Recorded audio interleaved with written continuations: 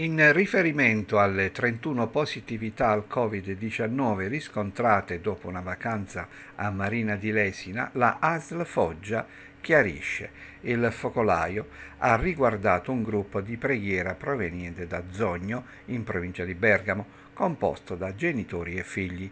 Concluso il ritiro, il gruppo principale è ripartito alla volta di Zogno il 25 luglio, mentre due soli ragazzi si sono separati per proseguire la vacanza. Rientrati in provincia di Bergamo, alcuni hanno manifestato dei sintomi. Allertati, tutti gli altri si sono sottoposti a tampone. Al momento 70 sono le persone in isolamento fiduciario.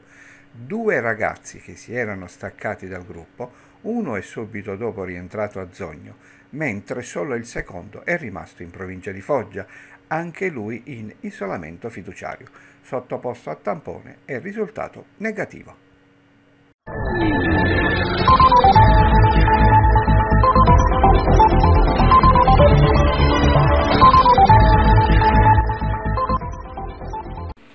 Il presidente della Regione Puglia, Michele Emiliano, sulla base delle informazioni del direttore del Dipartimento Promozione della Salute, Vito Montanaro, informa che mercoledì 4 agosto 2021 in Puglia sono stati registrati 12.668 test per l'infezione da Covid-19 e sono stati registrati 236 casi positivi, 98 in provincia di Bari, 15 in provincia di Brindisi, 23 nella provincia Bat, 24 in provincia di Foggia, 44 in provincia di Lecce, 22 in provincia di Taranto, 7 casi di residenti fuori regione, 3 casi di provincia di residenza non nota. Non sono stati registrati decessi. Dall'inizio dell'emergenza sono stati effettuati 2.936.394 test 247.304 sono i pazienti guariti, 2.729 sono i casi attualmente positivi.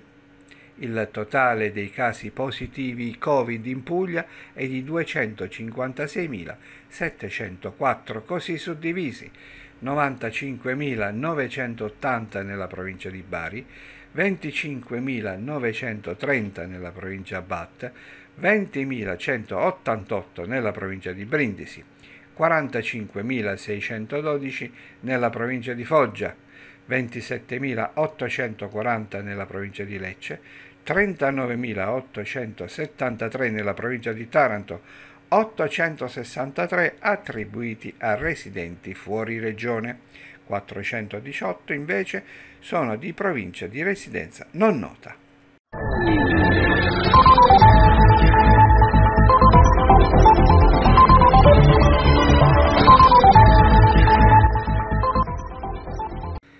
In Puglia l'agricoltura non è più considerata l'ultima spiaggia di chi non ha un'istruzione, bensì una nuova strada del futuro per giovani generazioni, interconnesse e propense all'innovazione tecnologica.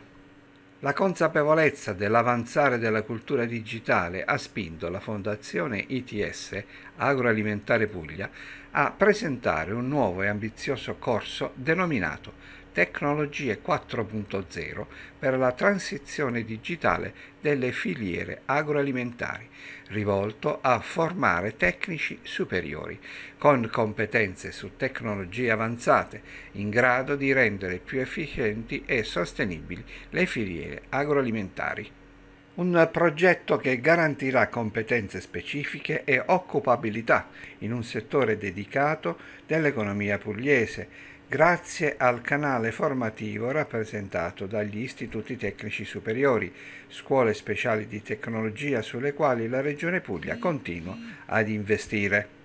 Il corso è realizzato dalla Fondazione ITS Agroalimentare Puglia in collaborazione con il Galponte Lama e con Conf Cooperative Puglia, associazione da sempre attenta alle dinamiche e alla interazione tra formazione e impresa.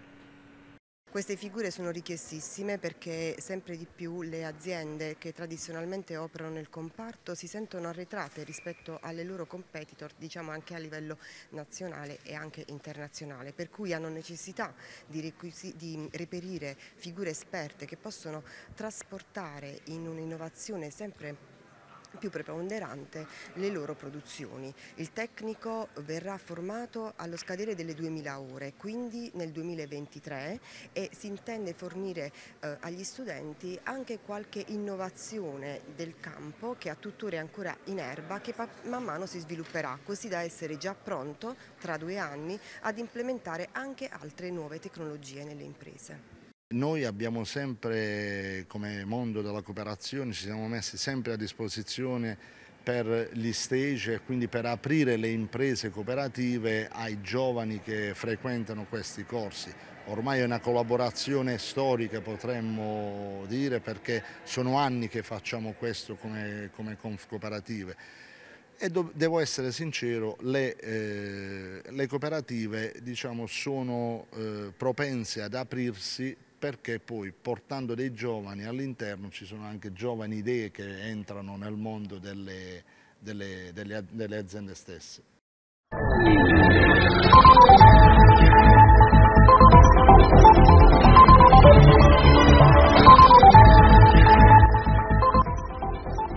Conclude l'iter autorizzativo per il raddoppio della Termoli-Lesina, opera ritenuta strategica per potenziare i collegamenti ferroviari lungo l'intera direttrice adriatica.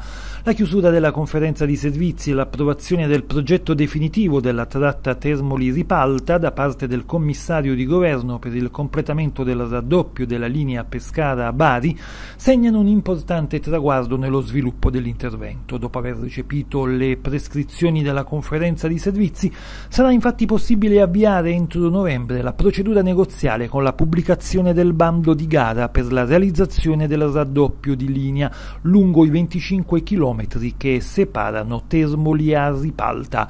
Sul tratto Ripalta-Lesina assegnato lo scorso marzo a un raggruppamento temporaneo di imprese, invece in corso la progettazione esecutiva propedeutica alla fase di avvio dei cantieri prevista entro la fine dell'anno. L'investimento complessivo per l'intero progetto di raddoppio dei 33 km della Termoli-Ilesina è di 700 milioni di euro.